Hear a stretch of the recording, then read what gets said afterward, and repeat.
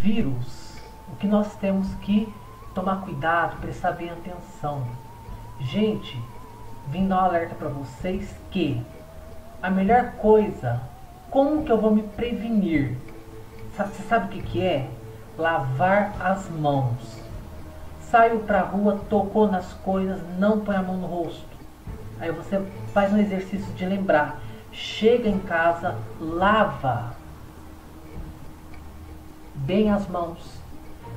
Você já está é, é, tomando cuidado para não se infectar, ainda não infectar outra pessoa. O que, que a gente tem que prestar atenção é aquilo que a professora do prézinho nos ensinou. Lavar mão e pé, né?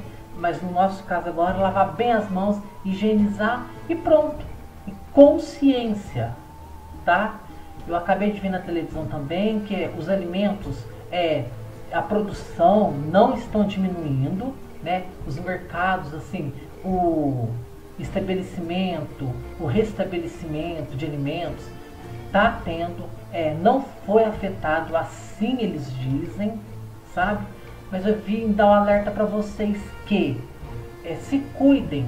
Gente, a coisa é, é, é mais simples, assim, da gente tomar conta da nossa saúde.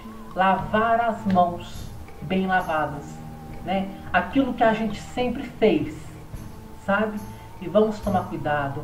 Não vá em lugar que tem gente, né? Se for, se você tem que ir, é questão de serviço, de emprego, mesmo assim as empresas estão bem atentas quanto a isto.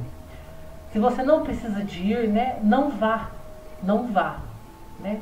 E sempre higienizar as mãos, a higiene sua. Cuide, se cuide, ainda você acaba cuidando do outro.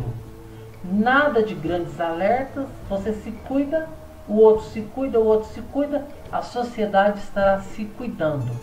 Mas eu vim falar para você que tudo começa naquilo que a professora do pré nos falou. A higienização, a mão bem lavada. E pronto, tá? Vamos todos ficar alertas, nada de grande alerta, de grande é, medo, não precisamos disso. Faça a higienização das suas mãos corretamente, perfeitamente e fica tudo certo. Boa noite, se inscreva neste canal, nesse botão vermelho, dê um joinha, comente para mim curtir o seu comentário.